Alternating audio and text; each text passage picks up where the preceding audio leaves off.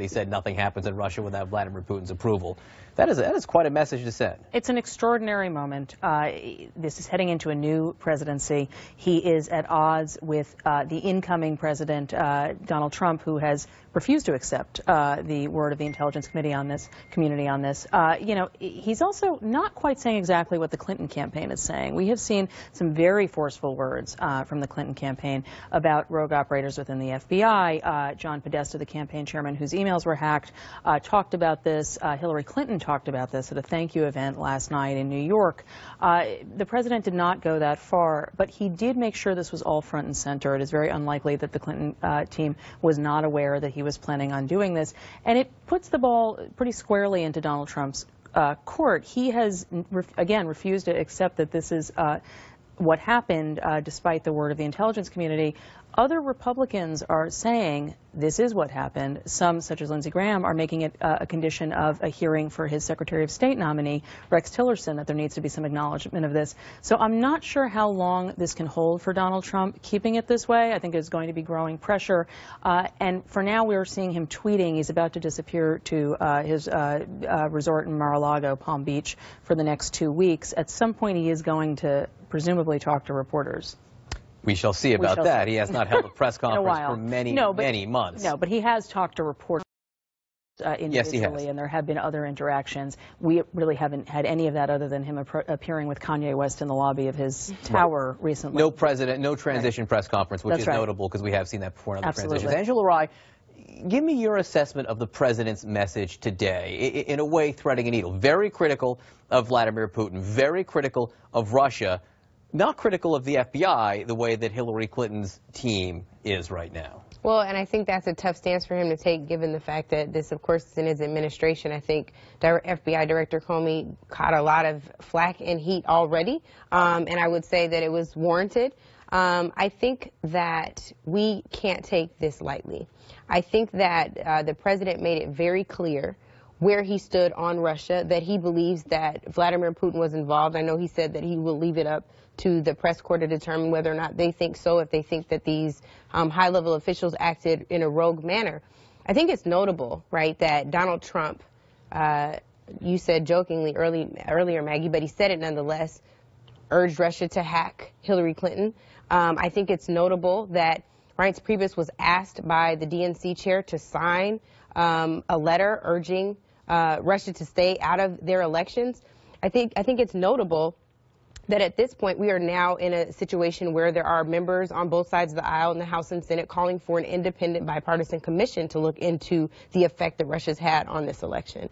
It's very important. That to me, I know we talked about this earlier, is something that calls into question, if nothing else, the legitimacy of Donald Trump's election as president-elect. Congressman Kingston, uh, you just got back from Russia, we should note. You met with some, some uh, American businesses, I believe, yes. in Russia, but I'm sure you had to talk to, uh, a chance to talk to other people there as well.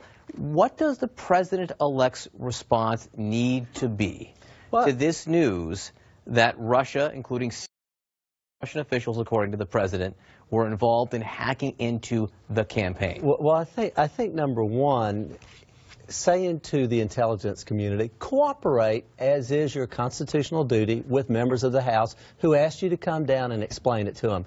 By you not going down and talking to Devin Nunes in the intelligence commu community this week, it's a signal of politics. This is above politics, but you're playing politics. The second thing I'll say is the president did something very, very political tonight that we're not even discussing. He changed the subject from Aleppo. This week, we saw the fall of Aleppo, one of the biggest foreign policy failures in U.S. history. 400,000 people dead, millions of refugees, women and children, and now reports that the um, Assad regime is going door to door and executing children, and not one question about it. It's all about Russian hackers. He brought up Aleppo. He brought, he, he, he brought on, it up on, in passing, John. He brought up he brought up Aleppo. Uh, but but sure, the and, human and it came tragedy. up and he talked about it at length. I'm not in any way defending what the administration has done there, but it did come up. And what he said is he said he regrets what happened. He did not well, certainly admit any mistakes. Hang on. And we can get to Aleppo, but I do want to stay right now on the Russian hacking because if Russia hacked into our campaign,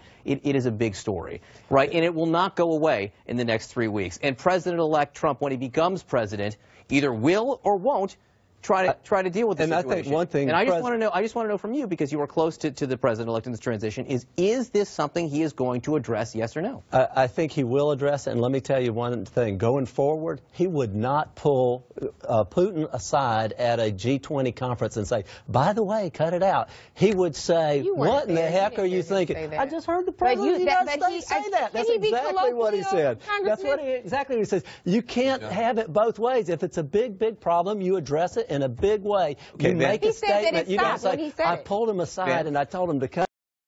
How ineffective. There, there's something bigger it at, stopped. at stake here. I mean, I, I, let's just a couple things. First of all, the future is important.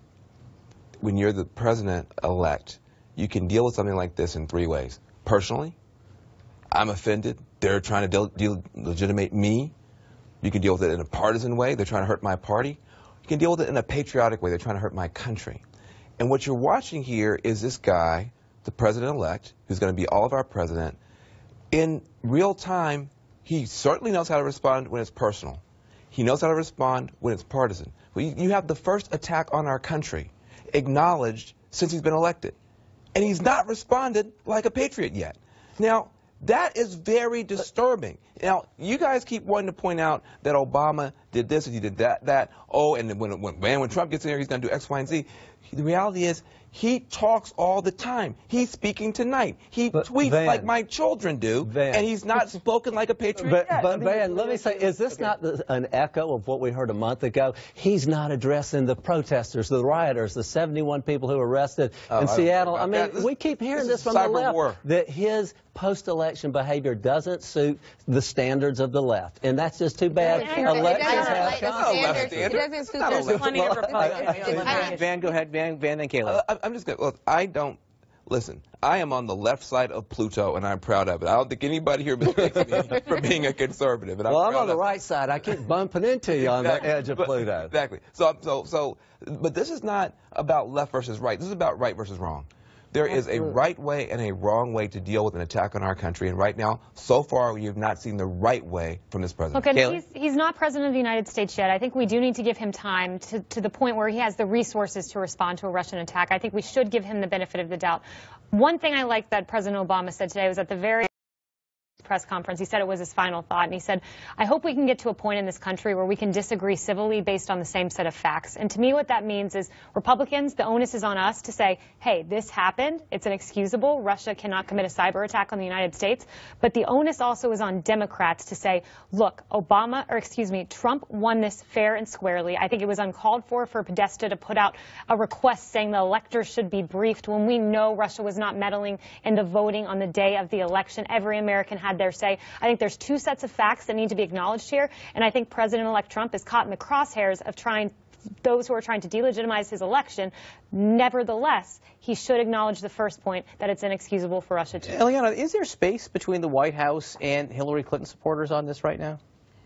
Uh, yeah, there's a. Tr- I think there's a huge gap, and it's uh, it was evident in President Obama's remarks. Uh, Hillary Clinton said just yesterday to a group of donors that the reason she lost the election is in part because of uh, Russian hacking, because of the email scandal. President Obama notably d- would not say that. Um, he acknowledged Russian responsibility, but did not tie it at all to the results of the election. I think he was uh, he purposely did that. But I think. Um, we have senior Republicans now speaking out about this. John McCain, Lindsey Graham, Marco Rubio, and Donald Trump's stance toward Russia, Russia was perhaps the matter of concern for Republicans and Democrats alike during this election.